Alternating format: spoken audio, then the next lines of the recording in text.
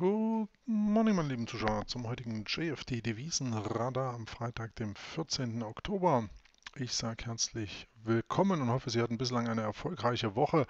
Ob es ein erfolgreicher Wochenabschluss wird, das müssen wir sehen. Die Währungspaare bislang hier zu teilen in enormen Bewegungsimpulsen. Die Daily Ranges, insbesondere hier bei den australischen und ozeanischen Währungspaaren, vielmehr schon ausgereizt. Wir sehen den Australdollar heute hier sehr, sehr stark.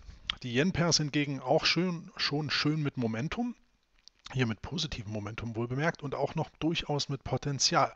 Das lässt mich hier überleiten zum britischen Pfund gegenüber dem japanischen Yen, den wir eben hier jetzt mal ein Stück weit näher unter die Lupe nehmen wollen, denn es kann sich hier durchaus eine mögliche Chance auf der Südseite wohl bemerkt ergeben. Denn zum einen haben wir hier in der 52-Wochen-Tendenz erstmal mit 45 Prozent ähm, positiver Schlusspreise einen leichten negativen Bias für heute. Der Dienstag hier wo bemerkt der schwächste Wochentag mit nur 37% positiver Schlusspreise. Interessant zu wissen, der Dienstag also während der letzten 52 Handelswochen ganz klar der schwächste Handelstag, aber dem folgen dann eben der heutige Freitag und im Overall Frio, da sprechen wir über die letzten 17 Jahre, hat sich hier sogar mit 49% ein leicht negativer Bias eingestellt. Klar ist, dass diese Werte hier gerade mit Blick auf Jahre irgendwo sich matchen. Also hier wird es kaum Werte in Richtung 60 Prozent geben, aber ein leichter negativer Abschlag, ein Touch unter 50 Prozent ist eben hier zu spüren und in Summe eben auch hier der schwächste Wochentag.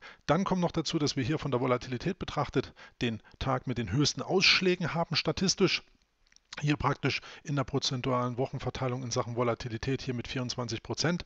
Also hier ein Viertel der Wochenvolatilität fällt sozusagen hier auf die, sage ich hier, ein Viertel, ein Fünftel, äh, fällt hier sozusagen auf den Freitag auf den Freitag wohlbemerkt, ganz genau.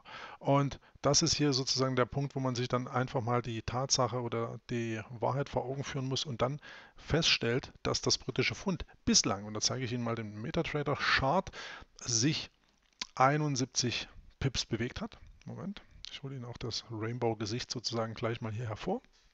Da sehen wir den, ähm, das Beast, das britische Pfund gegenüber dem japanischen Yen hier im 30-Minuten-Chart und jetzt auch mal im 15-Minuten-Chart. Da ist der Rainbow nicht ganz so klar. Sie sehen es.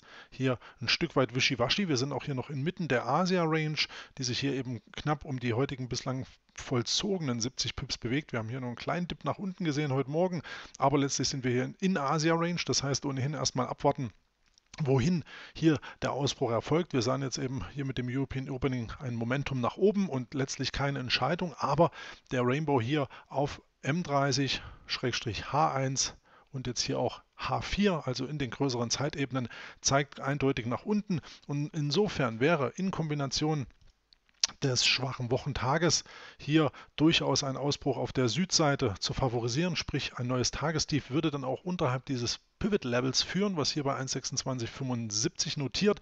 Neues Tagestief, Einbruch Asia Range, Rückgang unter dem Pivot Point, sprich dann zunächst eigentlich hier für einen definitiven Rückschlag in Richtung Vortagestief. Das wäre das erste Ziel und sollte hier die Daily Range im Schnitt von sogar mit Blick auf die letzten 14 Tage 192 Pips oder mit Blick auf die letzten 10 Tage 220 Pips eben ausgereizt werden, dann laufen wir sogar noch tiefer als 125,91. Dann könnte es in Richtung 125 47 gehen. Man muss natürlich abwarten, was bis dato noch passiert. Wir haben in der Nacht einiges an Nachrichten bekommen ähm, und werden auch noch am Nachmittag beko einiges bekommen. Sie sehen es hier, Japan, Inflationsdaten, auch gleiches aus China. Dann ging es hier mit Spanien und der Schweiz weiter. Letztlich hier ab 14.30 Uhr, da wird heute einiges folgen, inklusive dann der Rede von Yellen, dann hier schon zum späten Abendhandel. Aber insbesondere 14.30 Uhr hier wieder Inflationsdaten und eine Rede hier vom Fed-Präsidenten aus Boston. Dann hier der Konsumklimaindex aus oder von der Uni Michigan 16 Uhr. Also hier ist einiges zu erwarten an Volatilität und das könnte, Schrägstrich dürfte, auch die Yen-Pairs beeinflussen. Also der Rainbow sagt hier zumindest Momentum klar down. Soll heißen, wenn hier ein neues Tagestief erfolgt, sieht es mal nicht schlecht aus. Und das werden wir jetzt hier aber mal an dem Guidance-Chart ein Stück weit näher beleuchten nochmal mir klassische technische Analyse zu vollziehen. Äh, lassen wir einen kleinen Reload machen. So, da haben wir es. Technisch hier mit einem Widerstandsbereich. Das lässt sich hier sehr schön definieren. Also hier sollte es nicht drüber gehen, würde auch für ein neues Tageshoch sprechen. Wir können auch hier mal die Pivots einzeichnen. So. Auch hier. So, dann haben wir das.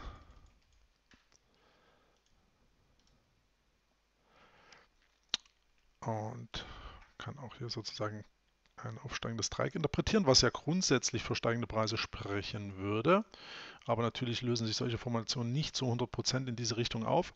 Tatsache ist, wenn es ein neues Tagestief geben würde und wir eben dann auch noch dieses untere oder diese untere Aufwärtstrendlinie brechen würden, dann spricht viel dafür, dass der Markt eben weiter abdriftet. Und das wäre sozusagen das für heute favorisierte Szenario. Was ich auch noch habe als kleines Schmankel ist eine negative FTSE-Vektorlogik. Allerdings hier im äh, Zeitbereich eben von 7 bis 22 Uhr, da fehlt ein Stück weit die Night Session, aber es wird auch hier oder wurde hier ein Count identifiziert, der in den letzten 17 Jahren hier mit knapp 61-prozentiger Trefferquote 172 Mal auftauchte und zu einem Erwartungswert, der recht deutlich von minus 0,38 Prozent führte. Tatsache ist, wir sind schon über das technische markante Tief hochgelaufen, rausgelaufen.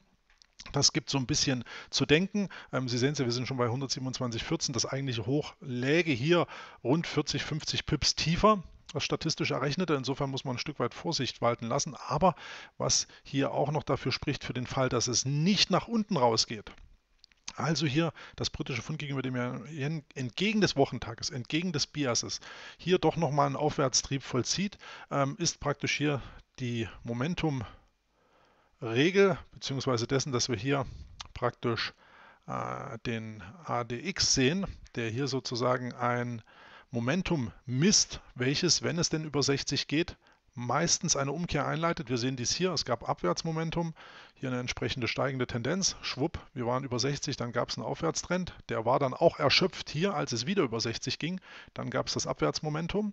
Dann ging es hier wieder deutlich über 60. Das war in Anführungszeichen ein Flop. Da kam nicht wirklich Momentum auf, ja. Aber wir laufen jetzt hier im Sinne des Abwärtsmomentums wieder auf eine ja, Überreizung des eigentlichen Schnitts und insofern mal Obacht geben, sollte es nämlich dazu kommen, dass das Währungspaar eben nicht nach unten abdriftet, sondern eben hier diese obere Widerstandsbarriere auflöst, hier bei 127,50, dann muss man interpretieren, dass gerade im Intraday-Chart auch durchaus die Gegenseite zu favorisieren ist. Aktuell ist es, wie gesagt, eh ein Münzwurf. Also jetzt hier zu spekulieren, wäre statistisch gesehen in Richtung Süden ähm, ja, zu favorisieren. Aber man darf natürlich auch Plan B die Oberseite nicht außer Acht lassen. Und da scheint sich hier eben auch ganz interessant darzustellen. Denn auch vor dem Hintergrund des Tageschartes, den Tagescharts, des Tagescharts so rum, kann sich, und das war auch mal eine Prognose aus dem JFD Devisenradar Webinar, jeden Mittwoch von 15 bis 16 Uhr, dass wir technisch gesehen hier durchaus diese Abwärtstrendlinie, dieses, das hier sehr als sehr markant identifizierbare Widerstandslevel 129,50, 130 Yen anlaufen könnten, um dann erst nach unten abzudrehen. Und wenn wir über 127 rausziehen, meine lieben Zuschauer, dann denke ich, ist es sehr wahrscheinlich, dass der äh, US-Dollar sage ich schon, dass das britische Pfund gegenüber dem japanischen Yen hier temporär doch nochmal nach oben segelt. Dazu abschließend hier die Saisonalität kurzfristig leicht seitwärts, aufwärts, dann aber hier Ende Oktober ein Dip. Das könnte eben dafür sprechen, dass wir hier wirklich nochmal schön nach unten laufen können. Dann werden wir auswerten, wenn es denn geschehen ist, wie es dann hier unten weitergeht. Aber das erstmal zur grundsätzlichen Tendenz. Wie gesagt, Intraday auf jeden Fall interessant, noch genügend Range-Potenzial vorhanden. Und insofern sage ich danke fürs Einschalten, meine lieben Zuschauer. Wenn Sie mögen, hören wir uns Montag wieder 9.30 Uhr. Ihr Christian Kämmerer und vorab schönes Wochenende. Bis dahin. Tschüss.